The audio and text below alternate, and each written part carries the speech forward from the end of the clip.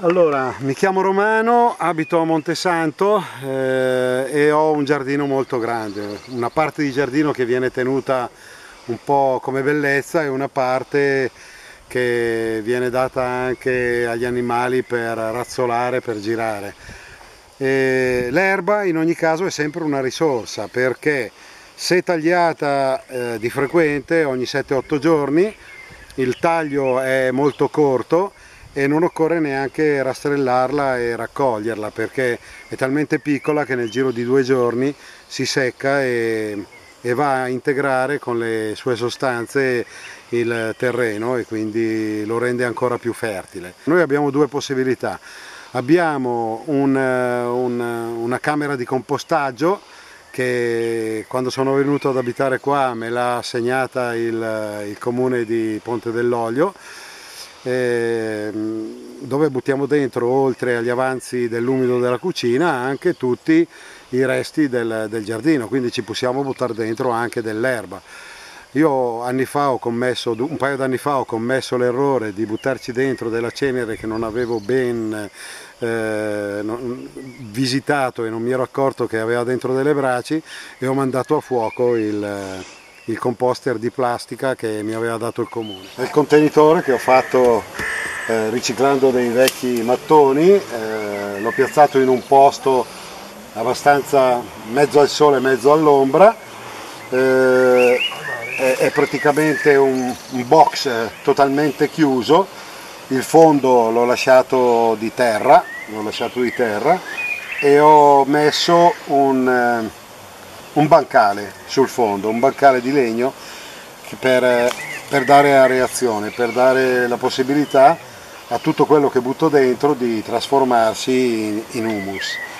Questa è una griglia che ha una doppia funzione, sia quella poi quando il, tutto l'umido che viene buttato dentro eh, è marcito e si è compostato eh, con un badile lo posso facilmente svuotare e poi ha la funzione anche di dare aria, di ossigenare per trasformarsi in humus. Eh, ma tu dicevi quindi che in questo modo non hai il problema dei topi che entrano... Ecco, eh, i, i, composter, eh, sia quelli in plastica che vengono dati dai comuni, eh, sia questo che ho costruito, ehm, hanno una sola possibilità per far entrare i topi, da sotto. Quindi è sufficiente quando si mette il composter in un angolo del, del giardino di posizionare una rete sotto in modo che i topi non riescano ad accedere all'interno del composter.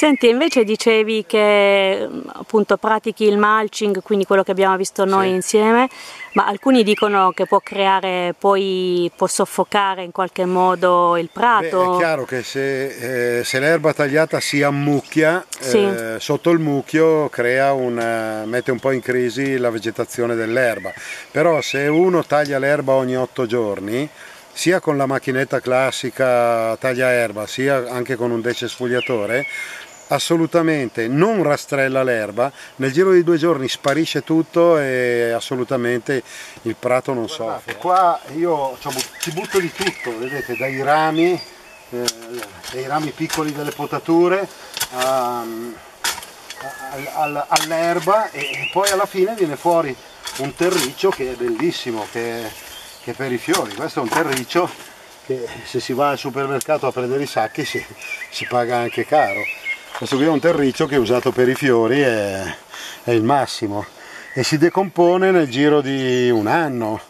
Io cosa faccio? Adesso sposto tutto questo terriccio che si è decomposto da una parte e qui faccio una specie di buchetta eh, dove inserisco tutta la roba fresca che metto dentro, quindi i nuovi, i nuovi rametti, questi sono rami che sono ormai andati nella terra ossigenano e e fanno bene al, anche all'ambiente, a tutto. Certo. Grazie Romano. Niente.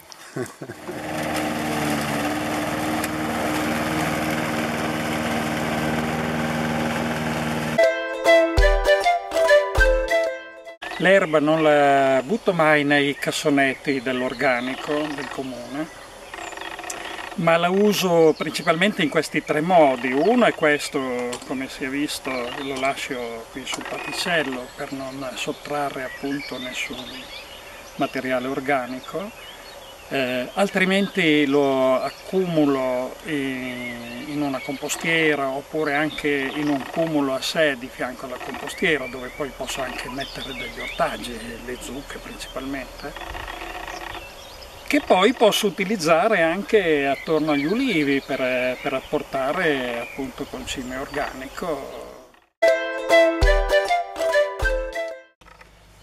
È una pacciamatura con dei rametti di questo tipo comunque mi mantiene il terreno più eh, fresco e umido e l'anno scorso si è potuto vedere, verificare bene con la siccità. Anche le potature non le porto nel cassonetto ma le accumulo e le lascio eh, marcire per poi poterle utilizzare come pacciamature. gli sfalci e anche le foglie d'autunno le metto in un cumulo, non li metto nella compostiera domestica, li lascio comunque marcire e trasformare in compost che poi utilizzo nell'orto e utilizzo anche per metterci le zucche, che, per seminarci le zucche che vengono benissimo. Invece gli, gli scarti domestici, eh, per gli scarti domestici utilizziamo la compostiera.